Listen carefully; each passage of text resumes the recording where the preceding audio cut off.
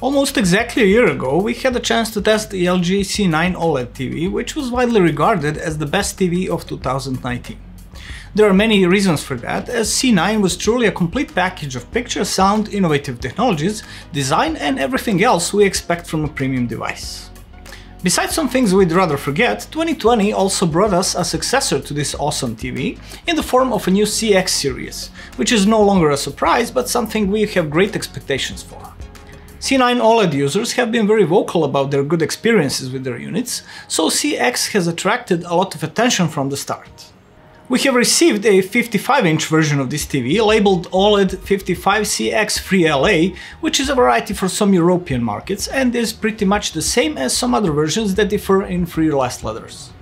This TV is priced at nearly 1900 euros, certainly not cheap, but OLED technology is still fairly expensive to make, though it also has some advantages which, at least until we see some mini and micro LED models, make it superior to all forms of classic LCD panels.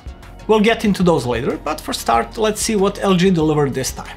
Interestingly, if you saw this TV beside models from two previous years, you'd probably have a hard time telling which is which.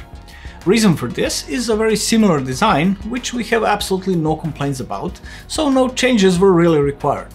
LG has obviously hit the right balance between the high-class elegance and simplicity and sticks to it while the changes are being made mostly under the hood. The stand once again consists of a massive main piece which extends behind the TV and has an integrated cable management, while on the front we see an aluminium piece which gives TV its visual identity. Of course you can also mount the TV on the wall via VESA 300 by 200 mount. The panel frame looks like a one-piece 2mm wide steel wire and is the same width from the front as from the sides. Since the OLED panel requires no backlight, the TV's profile is only about a millimeter wider and for the most part is covered by a brushed metal which looks quite nice and high-tech. The bottom part of the back is wider since it houses the electronics and connectors which are separated into two sections just like on the C9 one oriented towards the back and one towards the side. In those you'll find optical and headphone audio outputs, LAN port, antenna and satellite connectors, three USBs, a card slot and four HDMIs.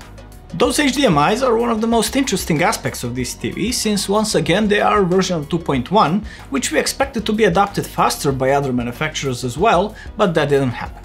Not only does it support 4K input at 120Hz, which future owners of new PlayStation and Xbox consoles will definitely appreciate, but LG also made an effort to go beyond the variable refresh rate supported by the HDMI 2.1 standard and managed to support NVIDIA G-Sync and AMD FreeSync as well. Saying that this is fantastic is an understatement, since those features make this not at all cheap TV a super cheap alternative to Nvidia BFG display devices which cost like 3500 or 4000 euros. When you also factor in the fact that OLED is practically perfect for gaming due to its slow response times, this TV is definitely a long-term solution for a large screen console and PC gaming. We have measured the input lag of about 13.1 milliseconds, which is pretty much the standard for LG TVs, and low enough for pleasant gaming experience even in competitive games. This CX model is equipped with LG's latest 55-inch OLED panel with 4K resolution and true 10 bits per color channel, which allows it to reproduce an impressive 95.4% of DCI-P3 spectrum, as our measurements have shown. It seems that the maximum pixel brightness has also been improved over the last year's C9, so the CX is able to reach about 800 nits in certain parts of the scene, which looks really good in HDR content with big contrast between the shadows and highlights, like for instance when the sun is protruding between the leaves of the trees. In very bright scenes, however, it won't really blow you away, so in that regard Quantum Dot LCD models still have an edge over the OLED. Since OLED has a true zero black level, the contrast is mathematically infinite, and subjectively the image looks absolutely impressive. Besides that, displaying fine bright detail on a dark background is something that only OLED can do right, which is why it looks as if this TV has a more detailed image than a VA or IPS panel with the same resolution. We should mention really good viewing angles as well as low reflections even though the screen surface is completely smooth. As for the image quality, LG traditionally has a good factor image calibration, as is the case this time, so we measured a very good average delta E deviation of 2.6. Besides Vivid and Sport modes, which offer a bit more fun-looking image, there are also Cinema and Game modes, ISF Expert Dark and Bright modes, which we're used to seeing on LG's TVs, as well as a new Filmmaker mode, which reminded us of Panasonic's current models and their Hollywood team. The goal of this mode is to faithfully display movie content like it was intended to look, and we have to say we like this mode very much, especially in its HDR variety, which was probably the best looking HDR mode we've seen so far on any TV, with natural but visually pleasing image. LG has also gone a step further and implemented the AI or machine learning, which if you activate it will analyze the scenes before they are displayed on the screen and adjust the display to offer an optimal color contrast and lighting for each scene.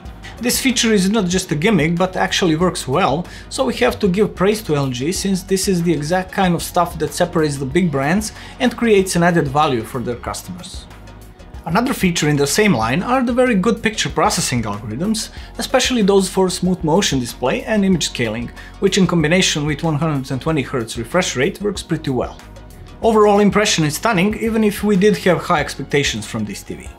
Now, it's not all daisies and roses, since we did notice something weird during our color tests, when the rectangle in the middle of the screen, which changes colors during the test, remained visible even when the test was done, and the screen should be dark. There was a light image retention which fades after about 10 seconds, which we would not attribute to OLED burn-in effect, but rather to some badly set panel parameter, which is probably fixable via software update. We saw something similar recently on some IPS monitors, and it's only noticeable in very specific case, not in real use, so it's not much of a problem.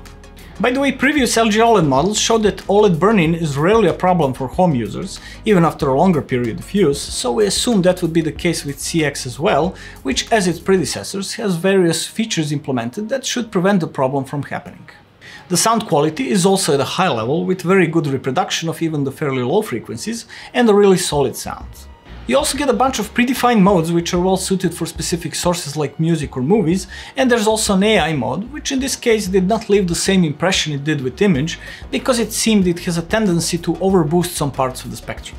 But sound is a matter of taste, so I'm sure some of you might actually like this a lot. Either way, every user will find a mode which is suitable to his or her own preference. For those who like to tweak, there's a 5-band equalizer and an option for automatic adjustment depending on whether you're using the TV on the stand or mounted on the wall. There's also an AI tuning feature which uses a microphone on the remote to measure the room's response and adjust it to reference so that you get a more natural sound. Of course the surround options are also not omitted, so there are Dolby Atmos and OLED surround options at your disposal for creating a more cinematic atmosphere.